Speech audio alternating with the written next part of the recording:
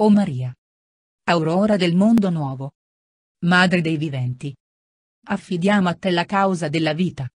Guarda, o Madre, al numero sconfinato. Di bimbi cui viene impedito di nascere.